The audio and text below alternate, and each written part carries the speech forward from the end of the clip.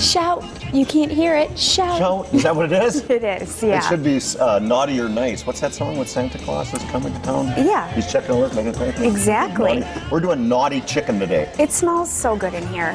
what are you doing? I mean, this pan looks gorgeous. You know, we took some wonderful uh, wild mushroom and sage olive oil, and I sauteed uh, half a clove of garlic. So I've got a, a half a bulb of garlic. So I've got like seven cloves in there. Yeah. And then we put some green and gold peppers in there because the Packers are going to get another victory. Then during the during that little tease, I threw in a stick of butter, Mm-hmm. a whole stick of butter, some beautiful a sprig of rosemary. Which is just. Oh. it And- smells so You know, good. I think I could take it out at this particular point. We'd have enough rosemary smell. You know what I'm saying? But right now we're going to take a little bit of balsamic vinegar, a little organic balsamic vinegar.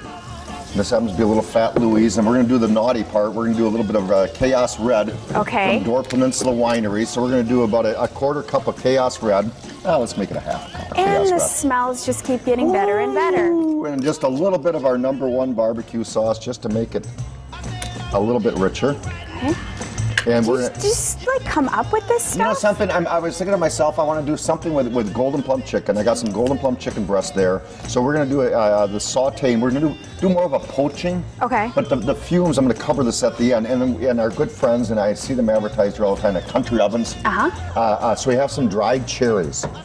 So we have Cherry Delight dried cherries, and we're going to add those to the top. Now I've already oiled and seasoned the chicken breast, and uh, those are those are those are nice chicken breasts. but Did you gonna- use your seasonal? we used our seasonal and we used uh, a little bit of grilling magic and we oiled them also. So that's going to be the oiling part, it's going to add to it. So we're going to place these beautiful, nice chicken breast in our naughty recipe. Mm-hmm. And I'm going to cover that so that it's kind of like the Schmucker's recipe. When you cover something, that it, it, it holds in all the flavor. Sure. So that's exactly what we're going to do is we're going to cover this. We're going to let it simmer for about 35, 40 minutes. And, and, and, then, and then I'm going to reduce the sauce. When, when Doug comes over, I'm going to reduce that sauce and we're going to ladle it all over the top of that chicken breast. Okay, I think you have a winner here. I think we have a You guys winner. always do, but that uh, I think it's gonna be I awesome. think it's going to be absolutely delicious. The flavors that are coming from right, right now are going to be fantastic. Yeah. They're going to infuse, and I'm not a chef, infuse into the chicken breast. So they're going to be delicious. Thank hey, you. catch us at Cook's Corner all week long, Monday through Tuesday, Wednesday, Monday, Tuesday, Wednesday, Thursday. We're going to be at Cook's Corner. They got all their supplies there. They as do a lot of stores for holiday gifts. Absolutely. Yep. Thanks so much. Hey, Thank you. Make sure you take a look at your screen too, because you can watch Mad Dog and Merrill and their Midwest Grilling Show on CW14 today.